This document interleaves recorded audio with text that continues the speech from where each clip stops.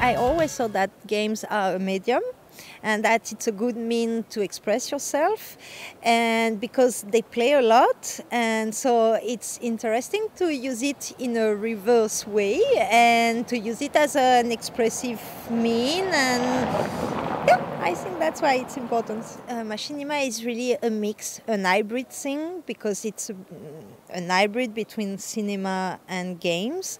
So coming back to what I said before, uh, which it is a mean of expression, so you can express yourself through a video game. What is interesting also is that you can think about video games. For example, I'm curating a show uh, which deals with uh, gender issues and feminism because I think that there are some issues uh, with video games nowadays.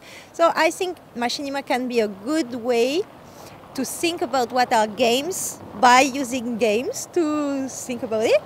Uh, last year I curated another show of Machinima. The name was Machini Glitch, and I wanted to talk about accident and also how errors are important when you are trying to learn something in video games, but in life too. It's good to make mistakes in order to be better and to learn. So that's the type of thing that are um, possible with Machinima, thinking about what are games, but using games to talk about it.